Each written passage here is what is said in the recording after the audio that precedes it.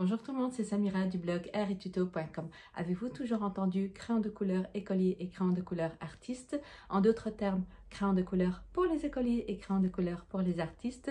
Quelle est la différence entre ces deux médiums? Est-ce que l'un vaut mieux que l'autre? Est-ce qu'on peut réaliser de superbes œuvres qu'avec des crayons de couleur écolier Eh bien, je vais répondre à toutes ces questions en réalisant un dessin réaliste au crayon de couleur écolier. Je vous dis à tout de suite Bienvenue dans cette petite démonstration dans laquelle je vais réaliser le dessin et le coloriage de deux cerises au crayon de couleur écolier. Vous trouverez euh, le tutoriel complet dans ma formation colorier comme un pro. Le lien se trouve juste en dessous de cette vidéo. Alors, euh, quelle est la différence entre les deux gammes de crayons de couleur écolier et artiste? Je pense euh, que tout le monde sait que les crayons écoliers sont faits pour les enfants et les crayons artistes sont faits pour des, créations assez poussées. Forcément, puisque ce sont des crayons qui sont, euh, je veux dire, euh, haut de gamme, des crayons qui sont plus chers. Ce sont des crayons qui sont destinés aux personnes qui veulent créer des œuvres d'aspect professionnel et pourquoi pas pour la vente. Donc ils sont plus chers, ils répondent à certaines normes de certification et possèdent une concentration plus élevée en pigments de, haute qualité ainsi qu'une bien meilleure euh, résistance à la lumière. Donc généralement ce sont des crayons de couleur haut de gamme euh, moins fragile, plus résistant à l'eau et possède un noyau plus durable. C'est également ceux qui vont vous proposer les plus larges palettes de couleurs, généralement entre 24 et 150 couleurs, tandis que les crayons écoliers sont des crayons qui sont destinés à l'école. Ce sont généralement des crayons plus fragiles, faciles à casser, euh, et voilà. Donc, euh, et, surtout qu'ils ils ont une mine qui est, qui est plus fine que que celle des crayons artistes, puisque les crayons artistes ont un diamètre beaucoup plus large que ceux des crayons écoliers, puisque le diamètre permet euh, d'englober plus de pigments, tandis que les crayons écoliers ont une mine beaucoup euh, plus, euh, plus fine, puisqu'il y a plus de liants que de pigments.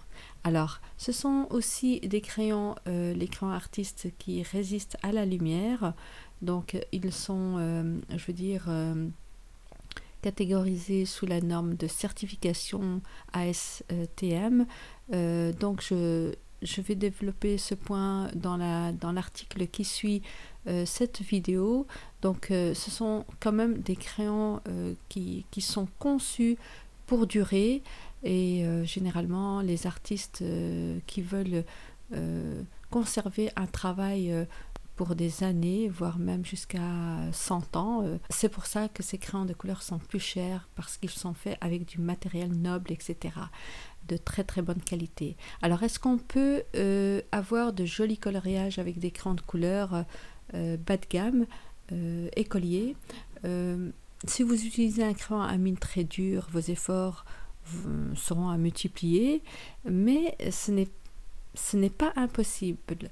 Sachez que j'ai fait ce défi pour essayer de pousser euh, ces grandes couleurs au maximum de leur potentiel et j'ai réussi euh, à, relever le défi, c'est-à-dire que j'ai réussi à réaliser euh, plusieurs couches successives alors que ce n'était pas gagné d'avance puisque le crayon écolier est un crayon qui a une mine plus dure.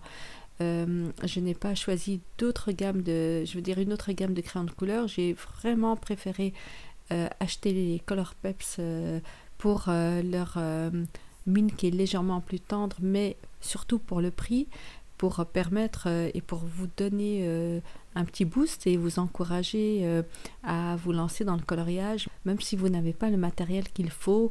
Euh, ce sont vraiment des préjugés à penser qu'il faut démarrer avec euh, du matériel artiste. On a tous démarré avec du matériel bon marché. Et une fois qu'on a bien maîtrisé quelques techniques, on a augmenté au niveau, je veux dire, euh, de, de l'expérimentation, de la maîtrise, etc. Et c'est ensuite qu'on investit dans du matériel artiste. Donc c'est euh, cet exercice est vraiment la preuve comme quoi on peut réaliser de jolis coloriages, euh, surtout euh, un dessin et un coloriage réaliste à partir de voilà de, je dirais pas de rien, mais je dirais à partir de, de simples crayons de couleur.